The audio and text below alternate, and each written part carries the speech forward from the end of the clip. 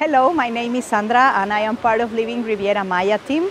Part of my uh, job and my help is to do customer service and also a transaction coordinator. I've been working with Judy for two years already and it's been quite an adventure. I've been uh, learning so many things on real estate and I am very happy to do that. Uh, we will be here to help you in anything you need and I am very proud to be part of this team.